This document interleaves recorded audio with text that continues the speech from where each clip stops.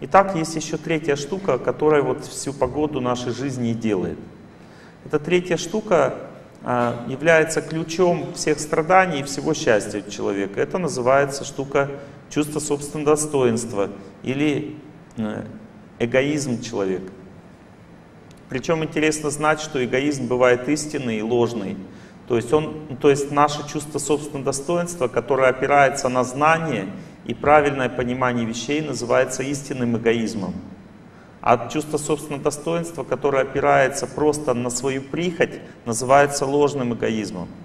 И Веда объясняет, что тот, кто живет, а, стимулируя в своей жизни ложный эгоизм или неправильное чувство собственного достоинства, всегда разрушает свою жизнь. А тот, кто живет так, что он всегда радуется в жизни тому, что правильно, и печалится тому, что неправильно, он всегда опирается на знания в своей жизни, хотя ему иногда что-то хочется, то тогда в этом случае человек побеждает свою жизнь и живет правильно. И так как эгоизм, в свою очередь, тоже влияет на разум, не только разум на эгоизм, но и эгоизм влияет на разум. Поэтому знание человека или понимание мира может сильно поменяться в зависимости от его интересов. Понимаете? То есть, если мне что-то нравится, то тогда я начинаю так воспринимать мир. И больше того, не только от интересов меняется восприятие мира, а также от природы человека. Это тоже входит в его эгоизм. Например, а, женщины по природе очень чувствительные и ранимые. И свод законов женского понимания вещей такой, что мужчина должен говорить очень мягко и нежно. И если он так не делает, значит он просто неправильный человек. Так женщина считает.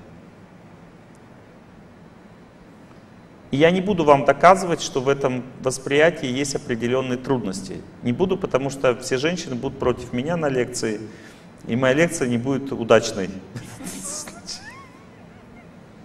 Или, допустим, в мужском восприятии а, в эгоизме есть такое, такая брешь. Мужчина считает, что если человек в принципе с ним согласен, он хороший. А если в принципе с ним не согласен, то так или иначе он плохой. Это чисто мужское стиль восприятия мира. И, допустим, если я скажу сейчас, что в этом способе восприятия есть определенный изъян, то и мужчины тогда, и мужчинам тогда лекция тоже не понравится. Поэтому я молчу на эту тему. А вообще в целом как бы надо знать, что эгоизм это самая больная часть программы нашей жизни. Ну то есть, вот допустим, я о чем угодно могу сейчас говорить на лекции, но если вдруг я скажу то, что связано с вашим личным эгоизмом, вы скажете мне в своем уме, а с этим еще можно поспорить. Или еще что-нибудь в этом роде. Это означает, что эта тема коснулась лично вас. То есть Веда объясняет, что эгоизм — это единственная штука, которая дает человеку чувство боли и которая причиняет человеку настоящую реальную боль. И это нормально, потому что чувство боли — это защитная штука, защитная вещь в нашей жизни. Например, эгоизм, пропитывая наше грубое тело, а, наполняет все рецепторы чувством боли. И причем интересно знать, что у всех по-разному. Например, у женщин чувствительность тела в 6 раз сильнее, чем у мужчин. Поэтому и существует определенный этикет отношений к женщине. Не то, что ты как бы эгоистка, ты что такая чувствительная. Нет, женщина по природе чувствительная. Это ее как бы природа так действует, и поэтому есть этикет, что женщину надо брать очень аккуратно за руку, что ей нужна очень мягкая одежда, она должна спать в мягкой постели, э, температура, ну, температура ее места, где она живет, не должна сильно колебаться, потому что она может заболеть, так действует ее чувствительность. А мужчина, допустим, он может спать на жестком, носить грубую одежду, и когда, допустим, ветер дует из окна, не обязательно, что он заболеет. Хотя женщине странно, вот он на сквозняке сидит и хоть бы хны. Ты бы форточку прикрыл вообще. Простынешь же. Да нет. Чувствуете, какие мы разные? Если у женщины, допустим, э, эгоизм связан с чувствительностью тела, то у мужчины очень сильно он связан с чувствительностью э,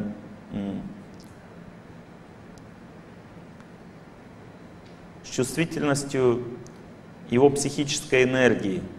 Ну, то есть у мужчины так интересно работает психическая энергия, что ему очень трудно ее перенаправить в какую-то другую сторону. Например, если мужчина работает на какой-то работе, ему поменять специальность крайне сложно. Для него это конкретный подвиг в жизни.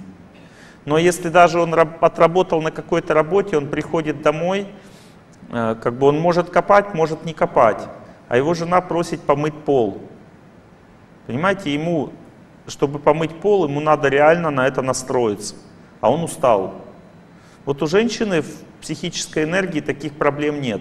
Она, допустим, говорит, надо помыть пол. Она говорит, ну сейчас помою. И идет мыть. Почему? Потому что у ней прана или психическая энергия, она не наполнена эгоизмом. Она может легко поменять свое действие в зависимости от необходимости. Мужчине же это крайне сложно. Ему надо сесть и сосредоточиться и понять, что ему надо мыть пол. Или надо, или не надо, вообще непонятно. Надо разобраться в этом вопросе. Ну, то есть, если он себя не вдохновит, он не пойдет мыть пол, ему тяжело.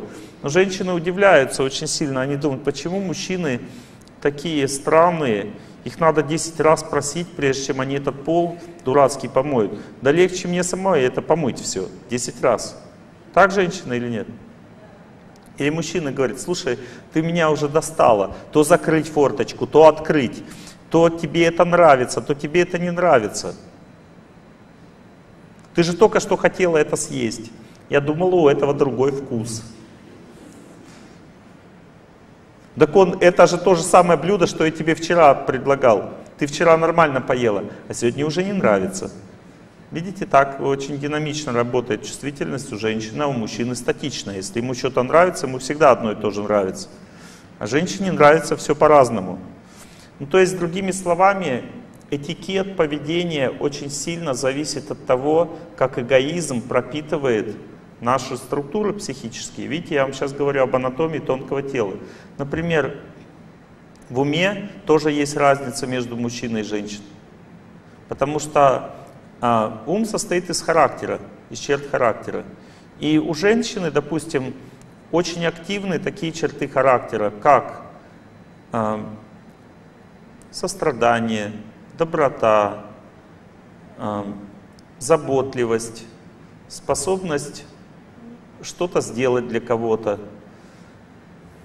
ну, то есть желание служить. Или, допустим, у женщины развита в характере скромность просто, ей не нравится выставлять себя на показ. У женщины в характере сильно развито э, чувство родственное чувство, отношения с родственниками. Допустим, она очень склонна чувствительно относиться к тому, как ведут себя родственники, к их взглядам на жизнь и так далее. Но у мужчины все наоборот. Мужчины в характере развита склонность к достижению какой-то цели в жизни, каких-то результатов. Мужчине нравится побеждать себя, а женщине, наоборот, в гармонии с собой нравится жить. Мужчине нравится быть храбрым, а женщина, наоборот, в ней страх управляет ее жизнью. Мужчине, э, допустим, нравится быть строгим, ответственным, это в его характере развито, в мужском. А женщине, наоборот, кажется, что строгость это может быть не самое лучшее, что нужно в жизни проявлять. И так далее, понимаете? То есть колоссальная разница между мужчиной и женщиной в проявлении характера. И отсюда разница также в восприятии мира, и отсюда также разница в понимании вещей.